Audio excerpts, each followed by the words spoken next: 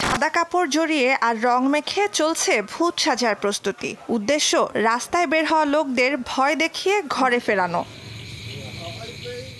সামাজিক দূরত্ব নিশ্চিতে সোজা আঙুলে ঘি না উঠলে আঙুল বাঁকা করার এ পদ্ধতি ইন্দোনেশিয়ার একদল গ্রামবাসীর। পাঁচ হাজার বাসিন্দার কেপোহ গ্রামে দেখা মিলছে এই ভূতদের।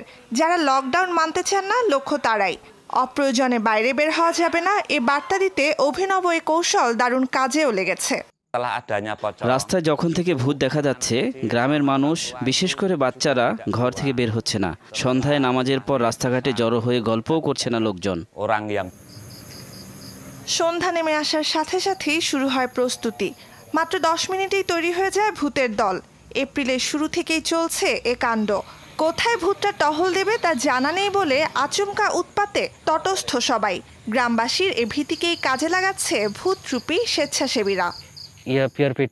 আমরা। ব্যতিক্রমী কিছু করতে চেয়েছি। মানুষ ভূত ভয় পায় আর এই ভীতিই কাজে লাগাচ্ছি। খুশির খবর হলো এই পরিকল্পনা কাজে দিয়েছে। গ্রামের অনেকেই এখন ভয়ে ঘর থেকে বের হচ্ছেন না। দক্ষিণ ও দক্ষিণ পূর্ব এশিয়ার দেশগুলোর মধ্যে করোনায় সর্বোচ্চ প্রাণহানির রেকর্ড ইন্দোনেশিয়ার। তাও লকডাউনের নির্দেশনায় কান নেই অনেকের। তরুণ স্বেচ্ছাসেবীদের এ উদ্যোগে তাই সমর্থন দিয়েছে স্থানীয় প্রশাসনও। কোভিড নাইন্টিন নিয়ে এখনও মানুষের সচেতনতার অভাব রয়েছে। স্বাভাবিক সময়ের মতোই জীবনযাপন করতে চায় তারা। বারবার বলার পরও তাদের ঘরে রাখা যাচ্ছে না। গবেষকদের আভাস সামাজিক দূরত্ব রক্ষার নির্দেশনা না মানলে ইন্দোনেশিয়ায় মে মাস নাগাদ করোনায় আক্রান্ত হতে পারেন পনেরো লাখ মানুষ।